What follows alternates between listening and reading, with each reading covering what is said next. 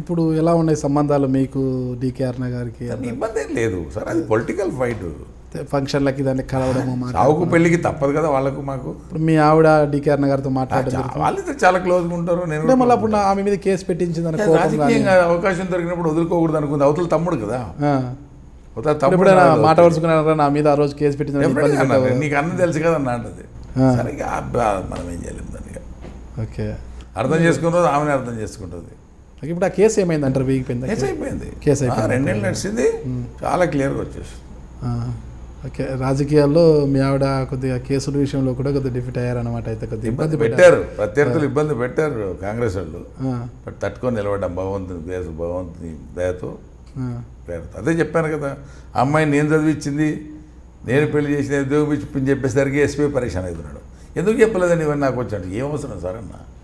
చనిపోయిన అమ్మాయి గురించి బ్యాడో గుడు మనం ఇప్పుడు చెప్పాల్సిన అవసరం లేదు. తప్ప ఆమె నా మిసెస్ కూడా నేను లోపలికి వెళ్ళడానికైనా సిద్ధం కానీ విషయాలు బయట చెప్పొద్దండి. కరెక్ట్. మీరు ఒక ఈ విషయాన్ని మనం పక్కన పెడితే కేసీఆర్ పాలన గురించి ఇంతవరకు మీరు విమర్శలు చేశారు కదా. కేసీఆర్ పాలన గురించి విమర్శలు చేసిన కేసీఆర్ యొక్క వాగ్దాటి అంటే కేసీఆర్ వాగ్దాటికి సంబంధించి కొంతవరకు రేవంత్ రెడ్డి గారు ఏదైనా వ్యాఖ్యలు చేస్తున్నా కూడా అంటే వారి కుటుంబంతో పోటీ పడి అంటే కేసీఆర్ గారు కావచ్చు ఆయన తమనాయుడు కేటీఆర్ గారు కావచ్చు వాళ్ళ కుమార్తె ఎంపీ కవిత గారు కావచ్చు వాళ్ళ అల్లుడు హరీష్ రావు గారు కావచ్చు ఈ కుటుంబ సభ్యులకున్న వాక్చాతుర్యం ముందర ధీటుగా మాట్లాడగల నాయకులు టీడీపీలో ఉన్నారంటారా? లేరని చెప్పదాను అధికారం అనేది అక్కడ చేస్తుంది. కానీ నేను హరీష్తో ఎప్పుడు పోటీ పడినా. హరీష్ రావు గారు నాకు బెస్ట్ ఫ్రెండ్ రాజకీయం కాకపోయినా వ్యక్తిగతంగా. నేను లైక్ చేస్తా. ప్లస్ నేను సహకారం కోసం ఆయన దగ్గరకు ఆయన నాకు చేయడం అటువంటివి ఏం లేవు కానీ బట్ ఐ లైక్ హిమ్ సామహు అదేవిధంగా కేసీఆర్ పనితీరులో ఉండేటువంటి ఈ మార్పుని నేను సహించలేకపోతున్నాను దాదాపు ఇరవై ఐదు ముప్పై ఏళ్ళు ఆయన ఆయన పనితీరుని గమనించినోడిని కానీ ఈ ముఖ్యమంత్రి కాగానే వచ్చినట్టు అహం ఈ మార్పు ఏదైతే ఉందో నేను భరించలేను ఆయన ఎమ్మెల్యేగా ఉన్నప్పుడు మీకు బాగా పరిచయం డెఫినెట్ ఆయన కొలీగ్నే కదా. చంద్రబాబు నాయుడు గారు మంత్రి పదవి ఆయనకి అయినప్పుడు నేను కూడా మంత్రి పదవిని ఆశించిందేమో అలిగిపోతున్నాను స్టేజ్లో. Dayakar we are the suicide squad for Chandrababu Naidu అలగొద్దు అన్నాడు. నేను ఎందుకు అలుగుతానన్నా నేను సార్ని వేరే పని మీద కలిసినానని చెప్పాను జనార్దన్ రెడ్డి గారికి మంత్రి పదవి ఇచ్చినప్పుడు నేను సార్ని కలిసా. ఎవరికి ఇస్తున్నారు ఈసారి అని? నాకు ఆయనతో ఉన్న చనువుతో ఇంకా అప్పటి కాల కూర్చున్నాడు కొత్త ఆఫీస్ ఓపెన్ అయ్యి లేదమ్మా ఇంకోదికో ప్యాడ్ ఇది ఇంకా అనుకుంటున్నా అన్నాడు. నేను జనార్దన్ రెడ్డికి అవకాశం ఇద్దాం అనుకుంటున్నాను లాస్ట్లో అన్నాడు. సరే నా జనార్దన్కి ఇస్తే ఊరికి పంచాయతీలు అయితే ఉంటాయి షోకే మీ ఇస్తామని వచ్చేసామాడ నేను ఏదో అలిగిపోతున్నా అనుకుని నాకు ఫోన్ చేశాడు గోపాలకృష్ణారెడ్డి ఆయన. మరి నేనెందుకు కలుగుతావు బాబు? ఆయన ముఖ్యమంత్రి ఆయన ఇష్టం ఆయన. నేను ఆయన ఫాలోవర్ను. ఎన్టీఆర్ అండ్ చంద్రబాబు నాయుడు ఫ్యామిలీకి అటాచ్మెంట్గా పెరిగినాను నేను. మేము అప్పుడు ఎట్లా అలిగాము ఆయన ఇబ్బందులు ఆయనకు ఉంటాయి కదా నేను అడిగింది లేదా? వద్దన్నది లేదు. మీరెందుకు ఆ ఫీలింగ్ అవుతున్నాను? అప్పుడు అన్నాడు. వీఆర్ ద సూసైడ్ స్క్వాడ్ ఎవరెవరు? నేను నీవు నాగము నేను మండవ ఆయన ముద్ద గోపాలకృష్ణారెడ్డి. మనం ఐదు మందిని ఫాలోవర్స్ ఆయనకు సూసైడ్ స్క్వాడ్ అన్నటువంటి వ్యక్తి. అప్పటిది ఇప్పుడు డిఫరెంట్ ఎందుకంటే ఆయనకు పదవి ఇవ్వకపోవడంతో పట్టుదల పెరిగింది.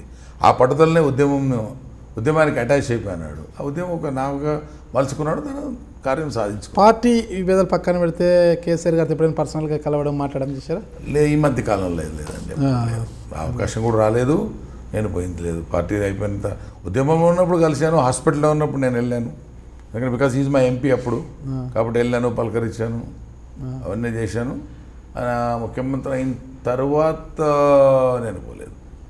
ఎప్పుడు కలవలేదు అవకాశం రాలేదు అంటే కనీసం ఆయన పిలవలేదా టీఆర్ఎస్లోకి రామని కూడా మిమ్మల్ని? అవన్నీ మాట్లాడేటివి ఏం లేవు దాంట్లో. ఆయన పిలిచినాడా నేను పోయినానా అనేది ఎప్పుడు ఆయన ఆ స్థాయిలో నన్ను ఎప్పుడు పిలిచింది లేదు. అవకాశం ఇవ్వలేదు కూడా నేను. ఆయన కూడా అటువంటిది ఏం తీసుకోలేదు. నేను అంత పెద్దోడిని ఆయన అనుకుంటే కదా ఆయన పిలిచేది అంత పెద్దోడిని కాదు నేను. ఇక చివరిగా నేను నా కాన్షియస్ వరకే పరిమితి తప్ప ఏదో రాష్ట్ర నాయకుని కాదు ఆయనతో పోటీ పడుతుంది కాదు. ఇందులాగా నన్ను పొదుముకులు తిట్టుకుంటుండేతోని కాదు. నా లీడర్ని కానీ నా పార్టీని కానీ పేరు పెట్టిన రోజు నేను ఫైర్ అవుతాను. అది ఇప్పుడైనా సరే గతంలో సరే రేపైనా సరే. ఎందుకంటే ఆ పార్టీలో ఆ నాయకుడితో పెరిగినోడి ఇవాళ ఆయన పేరు పెట్టే పరిస్థితి లేదు. మీరు ముఖ్యమంత్రి అయినారు. దానికి అవకాశం ఎవరు ఇచ్చారు ఇవాళ? ఎన్టీ రామారావు గారు ఇచ్చారు చంద్రబాబు నాయుడు అనేడిగా పెరిగావు. నీకు అవకాశం వచ్చింది? ప్రజలు ఇచ్చారు. దాన్ని మంచిగా సఖ్యతతో పాలించుకో. ఇబ్బంది లేదు. కానీ చంద్రబాబు నాయుడునో పార్టీలో తిట్టద్దు. ఎందుకంటే ఆ పార్టీలో పెరిగినాడు అక్కడ ఉన్న వాళ్ళందరూ ఇదే పార్టీలో ఉన్న వాళ్ళే ఇదే శిక్షణ తరగతులు నువ్వు డిజైన్ చేసి పెంచావు మమ్మల్ని. సో తిట్టడానికి అవకాశం లేదు? అట్లా తిట్టు కాడ ఫైర్ అవుతా. మిగతా దానిలో నేను ఫైర్ కాదు. సరే చేసే పనులు అంటారా? ఓట్ల కోసం చేసేటివి. ఎవరి బుద్ధి ఉండేట్లో వాళ్ళు చేస్తారు. కొన్ని యాక్సెప్టెడ్ అవుతాయి కొన్ని నాన్ యాక్సెప్టెడ్ కావచ్చు మనకు. కానీ అది ఓట్లు ముఖ్యం. Please subscribe I dream Thank you.